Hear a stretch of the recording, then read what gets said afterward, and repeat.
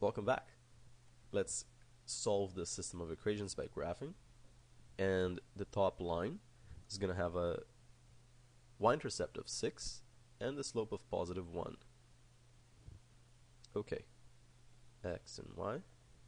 We have a y-intercept of 6, so it's right here. And the slope of 1, so it goes over 1 up 1, over 1 up 1, and so on. So let's graph that. Mm, here. Okay. How about the next line? So the slope here is negative 1, and the y-intercept is negative 2. So negative 2. And the slope of a negative 1, so it goes over 1, down 1. Over 1, down 1.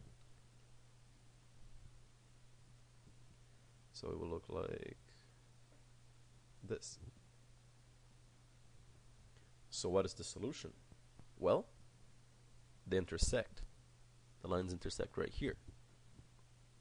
What are the coordinates there? 1, 2, 3, 4. So negative 4, comma, 1, 2.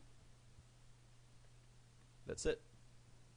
So the solution for this system is x equals negative 4 and y is positive 2.